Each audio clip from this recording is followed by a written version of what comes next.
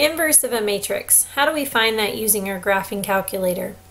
Well, you enter your matrix into your graphing calculator in the matrix menu, second x um, to the negative 1 to get to the matrix menu.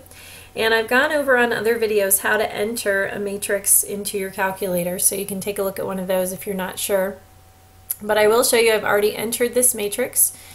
If we go to edit and we hit enter on A, you can see it's a 2 by 2 matrix and I have it entered there 4262.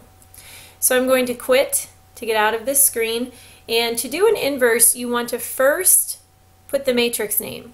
So second matrix and I'm going to select number 1, that's where I entered my matrix in A.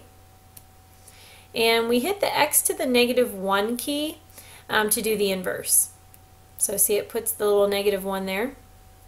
And we hit enter and we get the inverse for matrix A. Now if you want it listed as fractions, it works the same as any other time we want to change decimals to a fraction. We hit math and enter on fraction and hit enter again and it will give you your matrix in fraction form.